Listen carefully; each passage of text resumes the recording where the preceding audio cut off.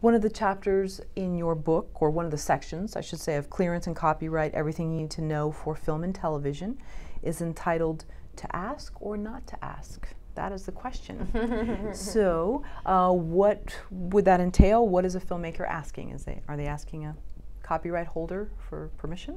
Yeah, and I think this again is is one of those a misconception people have that if they do ask, they can't fair use something or if they get a quote for something, it affects whether or not they can use something under the under the fair use doctrine.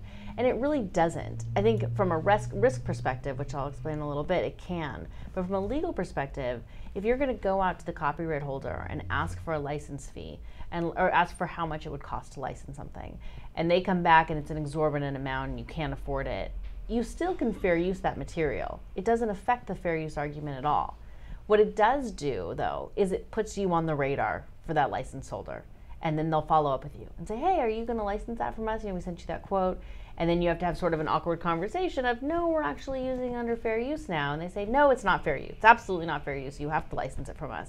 And then they come to us and they say, well, what should we do? And so it kind of, it can create a little bit of an uncomfortable situation, which I think all it really is. It's not a legal factor.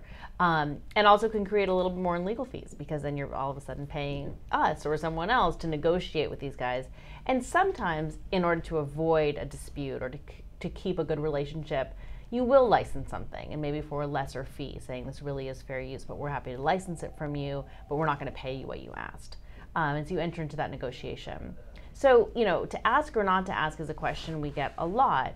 And typically I'll say, you know, you shouldn't ask. And it's not because we're trying to hide anything, but it's because the person who's licensing the footage to you or whatever it is doesn't want to have that conversation. It's not in their best interest.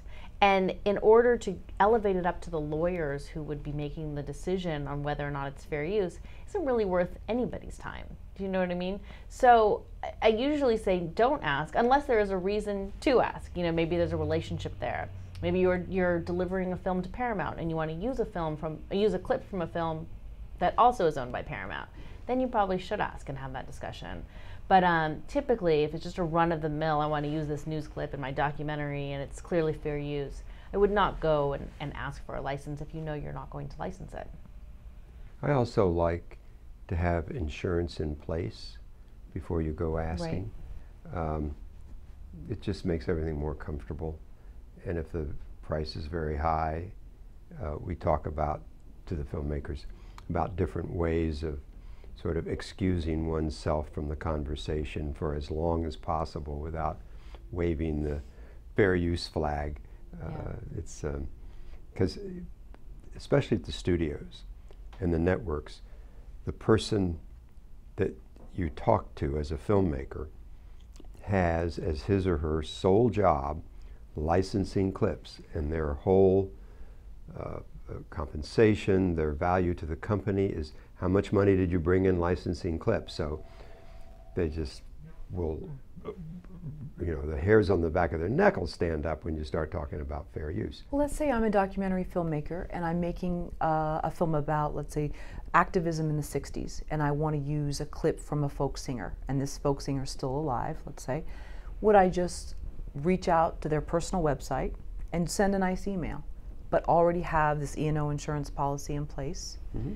And just play nice first. Yeah, well, you may, but you also may not because uh, you know, my viewpoint, and maybe I'm being lazy about it, but it's like, who wants to have that conversation? If you don't really have an intent to license, it's sort of a waste of everybody's time. In a sense, it could be considered kind of rude. Like, why are you calling me if you're not planning on licensing this for me? So, unless, you know, Michael's example is a perfect example where there was a negotiation there, they had already maybe even agreed on some terms, then it's, it makes sense from a business standpoint to continue that discussion and to let them know. But to just reach out to the folk singer when you really have no intention of actually licensing it, I think is, is counterproductive. You know, it's just not it's not necessary and it, it's kind of a waste of everybody's time.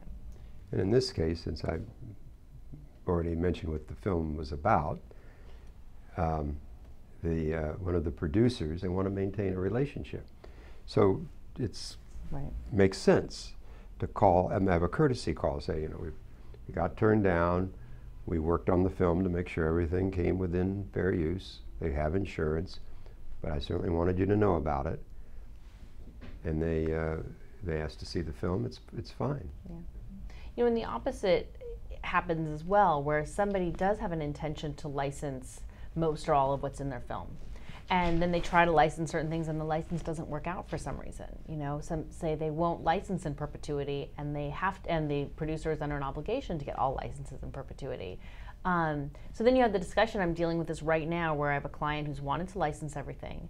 Um, one entity has come back and said, we can't give you a license in perpetuity. We can give it to you for 30 years, but it was an exorbitant cost. It was something about three times what they were paying for other archival material that was similar.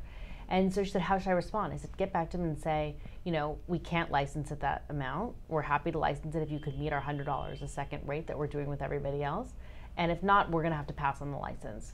And so we're dealing with that now, but that was kind of the converse of what we were talking about before, where they really did intend to license everything, and then they're just running into hurdles.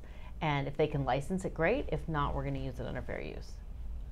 Curious But, about. but it's oh, interesting, the way you phrase that. They say we'll just have to pass on the license, as opposed to we're going to use it anyway. Right. Screw you. you know, it, it's Yeah. all. There's wanna a, play nice. A lot of, um, uh, and I think it's more than just playing nice. Yeah, good point. It's a consideration for two things. One is they do own the copyright, make a lot of money, and two, very important, the person you're talking to at a studio has this very narrow job of maximizing income from licensing clips.